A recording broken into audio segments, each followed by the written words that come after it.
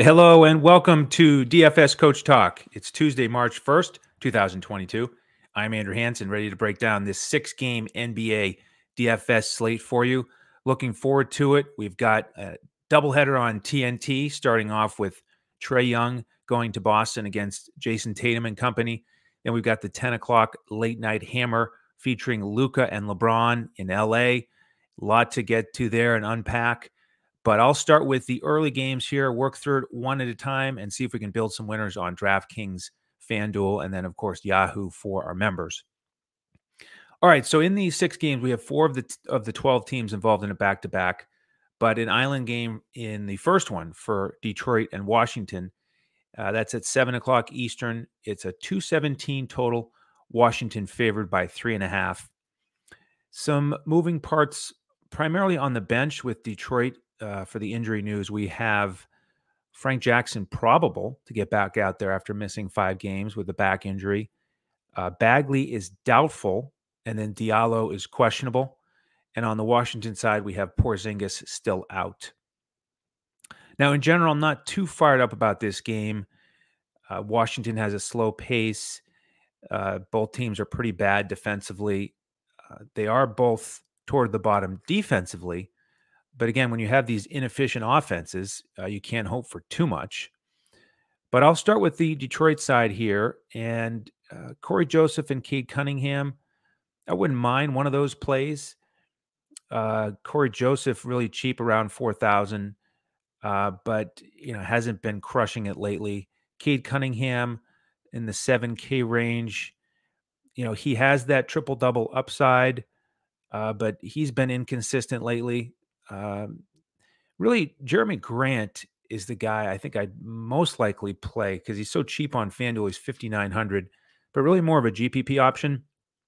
Both he and Bey are just inconsistent. They had big games in the last one, duds before that, and Grant has really underperformed lately. That's price. That's why his price is so low. Uh, you could look there though. Stewart is a reasonable price, five thousand DraftKings, fifty-two on FanDuel, and it's a good matchup for centers against Washington. But there are some other centers on this slate that are cheap that I like better. And that's one of the key aspects of this slate. Uh, that's the value position I think I like the most. So I probably won't get to Stewart because of that. And then I'm really unlikely to go to this Detroit bench, especially right now without knowing who's playing. Kind of an important piece of news. They are pretty cheap, though. Hayes uh, has been getting you know some minutes and he's been more productive. Magruder GPP option in the 3K range, but he takes a big hit uh, if Jackson and or Diallo are playing. And then Olynyk, how about that game winner against Charlotte? That was exciting. Um, you know, he's a fair price, right around five thousand, but uh, unlikely to go there on this slate. So with Detroit mostly being a pass, let's take a look at the Washington side. And with Porzingis still out, what we've been seeing here is Neto, KCP, Kispert, Kuzma, and Gafford.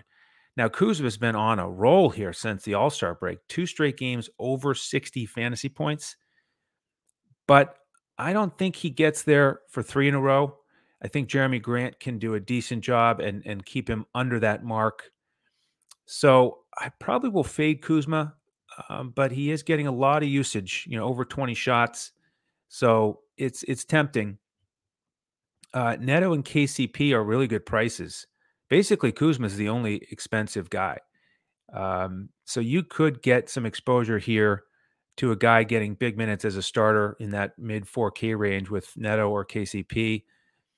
Uh, probably won't get to Kispert, but Gafford, here's the price that I really like 3600 on DraftKings for him. That seems too cheap.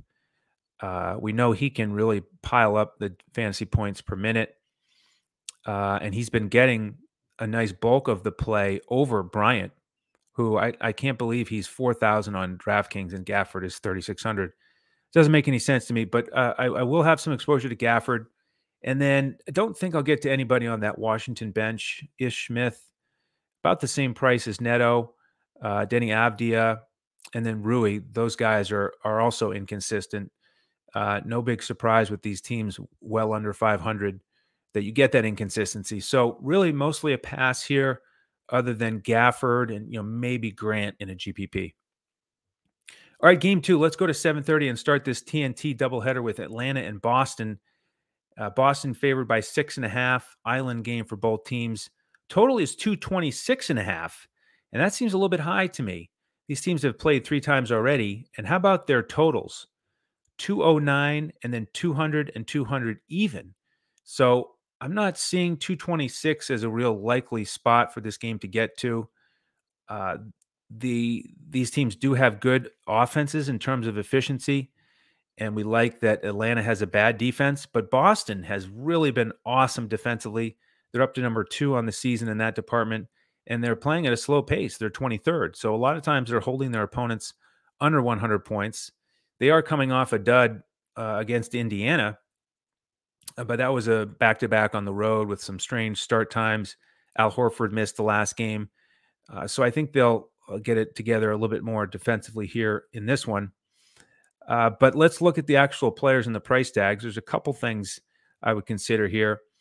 Uh, first of all, with Atlanta, we have Lou Williams still out, and then John Collins is doubtful. So if he is out, then we should see Trae Young, Huerter, Hunter, Gallinari, and Capela.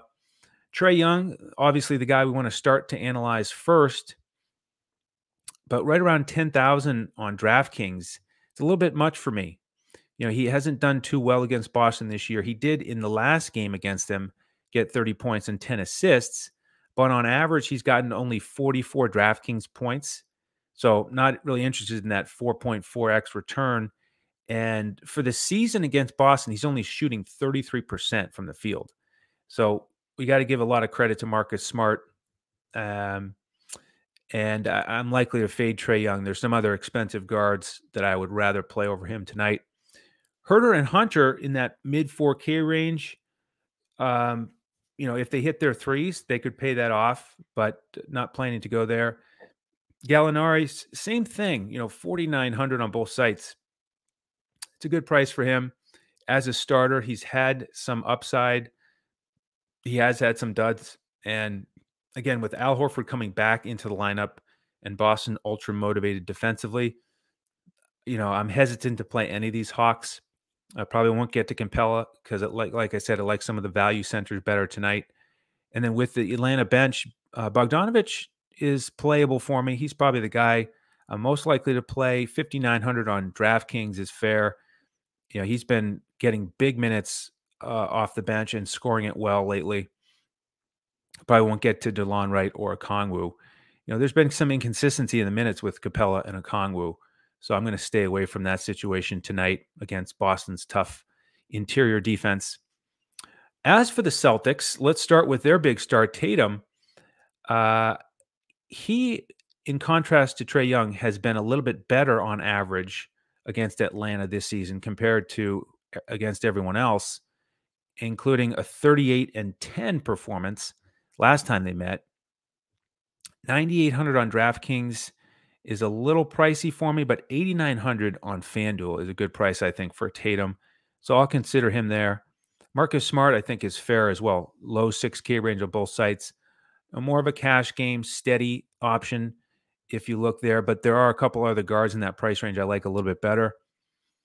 I don't know if I'll get to Jaylen Brown, Horford, or Robert Williams.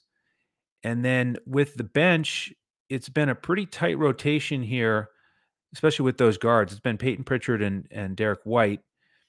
Uh, I'm surprised White is so much more than Payton. You know, on DraftKings, Derrick White six thousand, Payton thirty seven hundred. Payton's outplayed him the last couple games. He had a real nice stretch uh, during those two road games, shooting it well. So there's a GPP option. Uh, and then with the bigs, um, let's dig in here a little bit to that rotation because they've tightened it in general, and they haven't been playing all four bigs. And we saw uh, Grant Williams start against Indiana. Horford didn't play at all, and Theis got some minutes. But with Horford back in the lineup tonight alongside Robert Williams, we should see Grant Grant go back to the bench.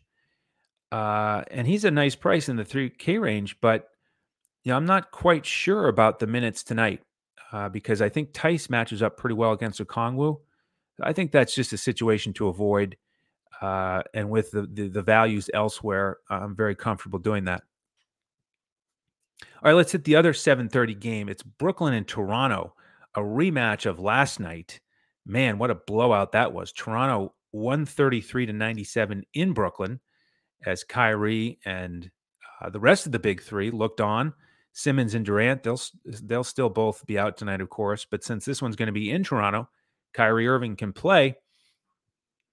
There are some other question marks with Brooklyn coming out of last night. Drummond banged up that knee; he's questionable. Cam Thomas is questionable with a hand issue.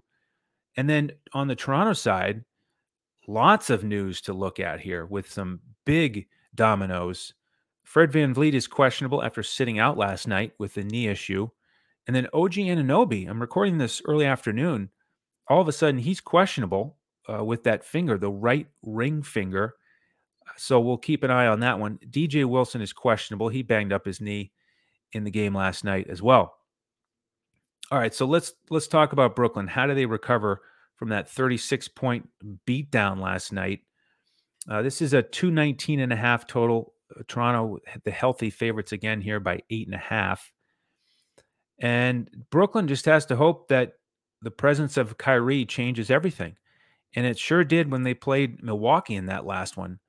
Um, and so how much of a factor is he? You know, he was 38, 5, and 5 against the Bucks. Uh, on the slate tonight, he's over 10,000 on both sites, but I do think he's playable. He should get a ton of shots. Uh, so I- I'm open to playing Kyrie. If you look at the rest of the starters, Seth Curry, low 6K range. Uh, really, all of those starters had duds last night. They didn't play more than 24 minutes. Uh, Brooklyn kind of threw in the towel, played the young guys a bunch in the second half. So you would expect better out of Seth Curry. Bruce Brown, mid 5K range, is a fine price for him. James Johnson, and then Drummond. Uh, so we'll see about him. If he starts uh, upper 6K range, uh, yeah, he could get that done as a starter. That's what you want for him. But again, I like the value centers tonight, so I'm not going to go there. If he's out, you know, then we'll just have to see what uh, the plans are for Brooklyn. We've got a lot of options in that in that front court. Marcus Aldridge, of course, in the mid 4K range, he could get out there. We've got Claxton, Blake Griffin, Day'Ron Sharpe. Sharp looked pretty good in his mop up duty last night. He's ultra cheap. Uh, you've got Edwards in that front court. Um, you know, Nash, they've been a little bit inconsistent with their rotations. Um, so I think you I think you tread lightly with Brooklyn here. Wait and see who's active. Uh, we've also got Goran Dragic as a question mark for me because his minutes have been limited.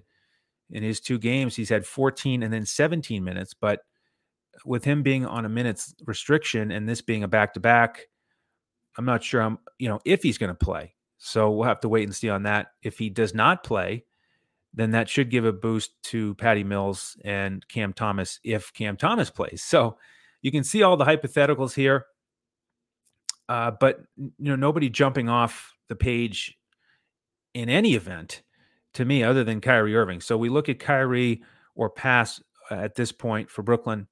On the Toronto side, uh, I'm interested in Fred VanVleet. He looked fine walking around the bench, cheering on his teammates uh, last night. You know, was this situation where they just, you know, planned to give him the front end off and then play in the tougher matchup against the Brooklyn Nets that have Kyrie Irving in Toronto? You know, wouldn't surprise me if all if, at all if that was the game plan. So with Van VanVleet, if he's out there and Kyrie is out there, and this is a closer game, then I'm open to playing VanVleet, you know, especially on FanDuel where he's only 7,500. And then we'll just have to see about Anunoby. It's a pretty big domino. Um, if he starts, perhaps they put Birch back to the bench. Birch has been sort of a placeholder as a starter, 13 minutes and 10 minutes the last two games. You know, they've really been coming in heavy with this this size off the bench in Thaddeus Young, Achiuwa, and Boucher. Uh, it's been an interesting new rotation. And so Anunoby just crowds it even more if he's out there and Birch is coming off the bench. Uh, we've got Barnes and Siakam to consider. Siakam doesn't seem to have been at 100% here recently after having that illness. Didn't do a lot last night. He's over 8,000 tonight. Uh, but Barnes, man, he stole the show against Brooklyn. 28 points, 16 rebounds, four assists, and six stocks last night. A lot of his baskets were on offensive rebounds and easy putbacks. That's why he shot such a high percentage. And Brooklyn really struggled uh, on that defensive glass. The size of Toronto really got to them. And you got to figure Brooklyn will look at that tape and try to uh, make some adjustments to you know clean up that that defensive glass. But sometimes the size uh, can just be too much. Um, and we know that Brooklyn is playing a lot of young guys. Uh, so, uh, you know, Barnes, do we think he's going to go for, you know, 60 fantasy points again? Probably not on this back to back, but he's so cheap 5,500 on FanDuel. Man. So that's why I'm even more interested in this Anunoby news. Um, so we'll, we'll wait and see on that. And again, this is the 7:30 game.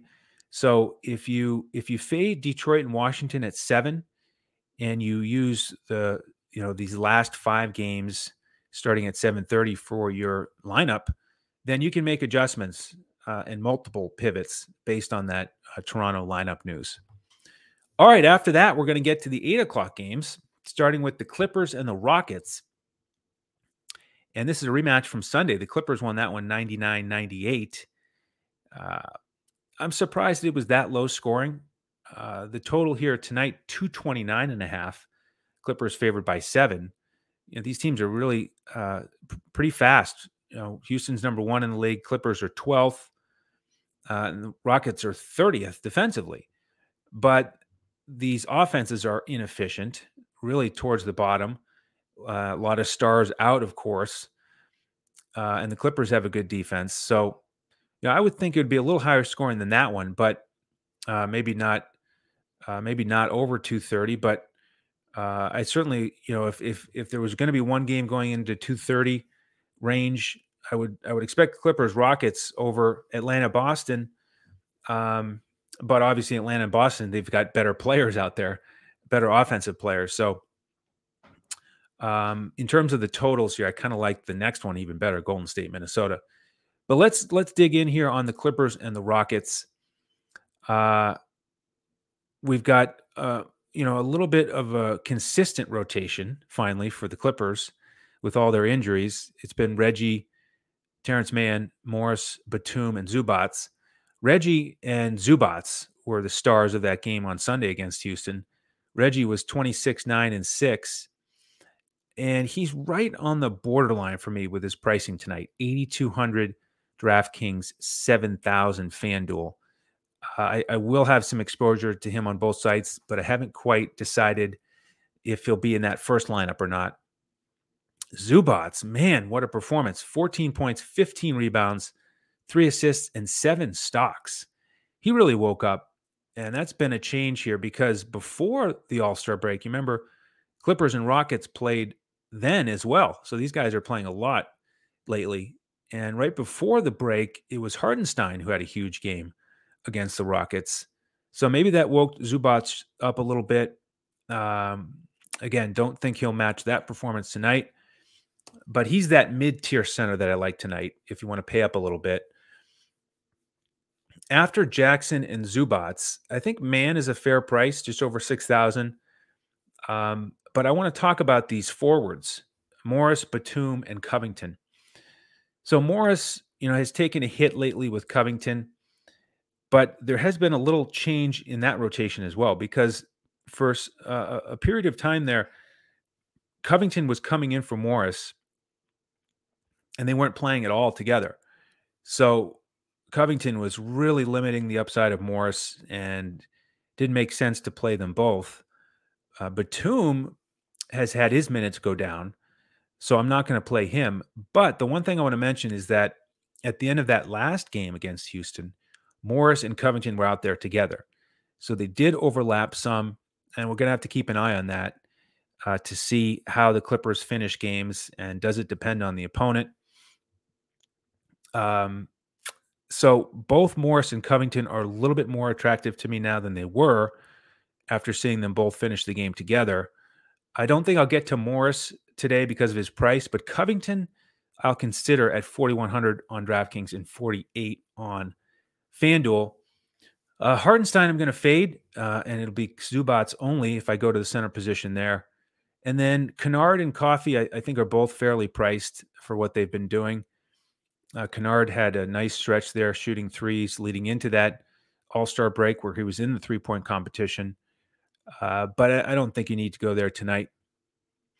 And let's look at the Houston side. They have a front end. They're going to play Utah tomorrow at home.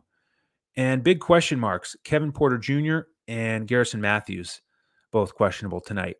If they're both out, then we should see Schroeder, Green, Gordon, Jae'Sean Tate, and Wood again, uh, just like we did on Sunday. And Schroeder almost had a triple double. And he's in the 5K range again on both sites. I, I do like him again tonight. Uh, after that, you know, Green is a GPP option. Um, just don't trust him. You know, we do know that he can score. He's very athletic. Gordon is pretty cheap, um, but don't think I'll get there tonight. Jae'Sean at 6,100 on both sites is playable. Sort of a, a, cash game option similar to Marcus Smart for me in that price range. You know, he finds a way to, to hit value at that price pretty often. Wood, uh, I don't think I'll get to him. You know, 7,200 is pretty cheap on FanDuel, but he's not getting 20 plus shots, you know, more like 12 to 15 a lot of nights. And I'd like to see him get more shots if we're going to pay that price for him. And not looking at this Rockets bench, you know, we'll see about Matthews. Uh, Christopher's getting some minutes. Martin has been playing. Uh, Sengun, pretty solid. And then even Nwaba could get out there tonight if Porter Jr. and Matthews are out. But again, I don't plan to go there. All right, let's turn to the highest total game tonight Golden State, Minnesota, eight o'clock tip. And this combo is great because both of these teams are top 11 in pace and top 13 in offense. Uh, so we've got that 231 and a half total. Golden State favored by one. Uh, you know, the only thing we don't like for fantasy is Golden State's number one defense. Minnesota, middle of the road defensively, and they played last night in Cleveland. They won a high scoring, close game, 127 122. The starters were out there really to the end. And so we'll see what they have left after winning that one in Cleveland and now having to face Golden State. Uh, on the Golden State side, we've got Bjelica questionable. And then the big news Klay Thompson is out again and Iguodala is still out. So for the Golden State lineup, you've got to have Steph out there, Wiggins and Looney, of course. Payton, I think, will start again. And then we'll see about that fifth starter. Moody started in the last game, didn't do a lot. I wouldn't be surprised if Kerr shakes it up and goes with really any of these bench guys. Poole, probably not. They probably keep him uh, coming off the bench with his scoring. But Damion Lee, even Porter or Kuminga, wouldn't shock me if they start over Moody. Uh, so we'll keep an eye on that. Uh, I kind of like the price for Payton on DraftKings at 4,200. You know, he's really just uh, so great defensively. He's fun to watch too, with his quickness, anticipation, his nose for the ball. Uh, so he's in the player pool for me. Wiggins is pretty cheap. How about 5500 for him on FanDuel? And he's been a little bit erratic against Minnesota. He started the season, uh, they've played three times. He had 35 points against them in that first one. Then he had a dud of 12, 2, and 4, and then a little better, 19, 5, and 4.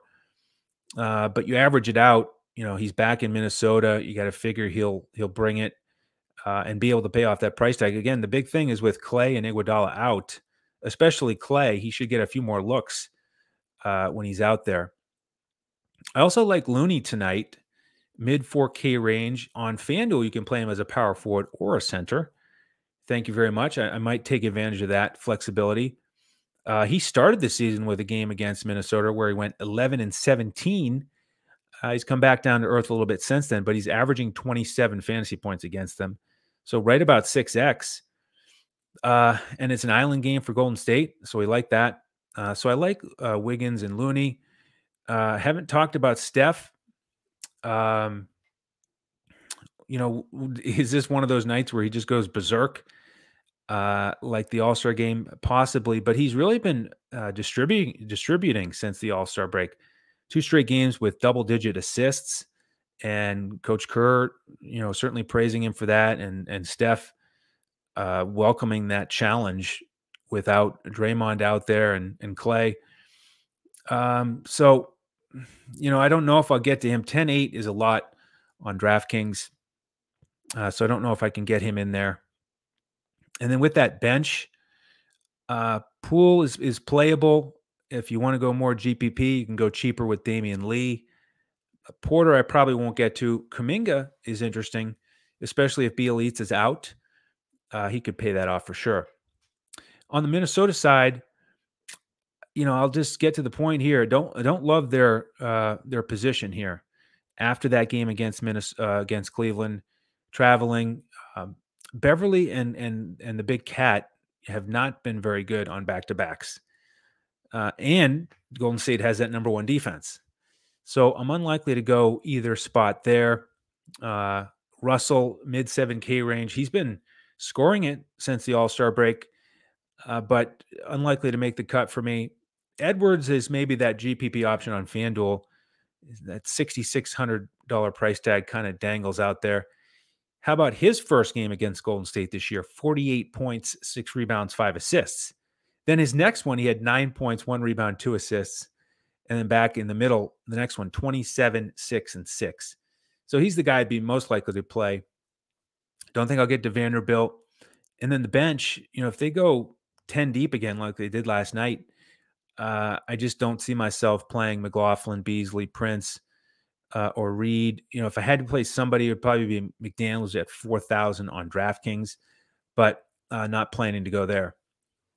All right, one more to go. How about Dallas and the Lakers? Uh, the second half of this TNT doubleheader. It is the late night hammer at 10 Eastern. Not a great total at 217. Dallas favored by five and a half. Uh, we've got, you know, middle of the road offenses uh, Lakers actually below average now, and Dallas has that slow pace and good defense. So don't really like going against Dallas. Lakers do have a, a pace of second. Uh, we like that, and then they're middle of the road defensively. Injuries tonight for Dallas, guys who are out: Chriss, Ntilikina, Pinson, and Burke. Uh, with the Lakers, AD of course still out, Bradley still out. Reaves is probable. DeAndre Jordan has been waived.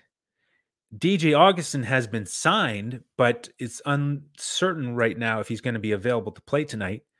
And apparently they're planning to sign good old Wenyen Gabriel, uh, but he's not on either slate and not sure if he's available yet to play. So we'll keep an eye on that throughout the afternoon. And a lot to talk about with the Lakers. But first, let's start with Dallas. Um, since the trade of Porzingis, we've got this new nine man rotation Luka, Brunson, DFS, Bullock, and Powell. You know, I wouldn't mind getting Luka out there, but 12,000 on DraftKings is, is pretty steep. So I'm more likely to get to him on FanDuel. Not going to play Brunson. You know, he's taking a hit with Dinwiddie. Uh, I w- could play DFS or Bullock. Those are the guys who are, you know, they they've shown repeatedly that if they hit their threes, they can pay it off, pick up a couple stocks. And Bullock is only 3,700 on DraftKings, sorry, on FanDuel as a shooting guard. So GPP option there. Don't think I'll get to Powell, even though he played awesome against Utah. Uh, he's not the uh, value center that I'm looking at in this game. Uh, but I do like Dinwiddie here. Mid 5K range, two really strong games here after the All Star break 20 points against Utah and then 24, 4 and 5 against Golden State. Uh, so I like Dinwiddie, and then I don't think I'll get to the rest of that bench. But on the Lakers side here, we got to talk about this because they had a close loss to the Clippers, and then they got pounded by the Pelicans 123 to 95 at home, turned the ball over 23 times. It got so ugly that the fans were booing the Lakers. Uh, there's a lot of back and forth between some of the players and the fans, including LeBron, Russell Westbrook, and Ariza. And you know, down the stretch, LeBron came back in the fourth quarter of that one, and you know, could tell you could tell he was really putting the team on his back, trying to make it a game. Um, and you got to figure that he's going to come out strong tonight. You know, Lakers are just kind of spiraling in the wrong direction. Six games under 500. Uh, they need to start picking up some wins. It's an island game for them. Uh, so LeBron is is on my radar for sure. Uh, Dwight Howard, though, is the value center in this game that I like. In that mid 4K range on both sites, he he was awesome against the Clippers, and then against the Pelicans, he finished with six points and 11 rebounds in 22 minutes. I thought he was solid while he was out there. And then in the second half, that's when Vogel, you know, just went to the bench and started experimenting. He put DeAndre Jordan out there. DeAndre Jordan threw a pass down court that was so high over his intended target. It went into the stands. If it had been at the hoop, it might have gone over the hoop. It was just this crazy pass. And, you know, Jordan just did not look like he was into it at all. And then sure enough, he gets waived. So without Jordan out there, I, I just think Dwight has to start again. He has to get, you know, 24 minutes or, or more. Um, so, and he's got such a size advantage against Powell that I, I, I'm going to plan to put him out there it's always scary with Dwight and Vogel. You know, they don't seem to have a great relationship. Uh, sometimes Dwight will just disappear. I, I think they need him though. So, you know, hopefully Dwight comes to play because I'm going to have him out there. Russell Westbrook, you know, in that game, he had 16 points, six rebounds, one assist, and seven turnovers. So his assist to turnover ratio wasn't seven to one, it was one to seven he just would drive into the paint and then just get stopped and then start pivoting with nowhere to go. It was just like he had no plan. He just got caught in no man's land time after time. Lots of bad passes. Uh, you know, really embarrassing the, the, performance he put up against uh, the Pelicans. So how does he respond? You know, I don't trust him on DraftKings at 8,300, but 66 on FanDuel, man, we're getting pretty low for him. Uh, and when these two teams played earlier, it was one of Westbrook's better games of the season. He was 23 points, 10 rebounds, nine assists, and AD played in that game. So without AD, you know, this is an opportunity for Westbrook. I know he hasn't been shooting that much. You know, he looks like he's kind of going through the motions offensively. Um, and you know, it's like almost like he's okay with the fact that he's playing so poorly. Uh, so at one point does he wake up? Um, you know, if he does, he could smash 6,600, but very, you know, very hesitant to go there the way that he looked against the Pelicans. Austin Reaves, uh, I mentioned he's probable with an ankle issue that he picked up late in that game. Remember when they played before, that's when he hit that buzzer beater uh, to win that three pointer and finished 15, 7, and 2 in that game. And he's been starting recently, but he hasn't done much as a starter. Uh, so I probably won't get to him.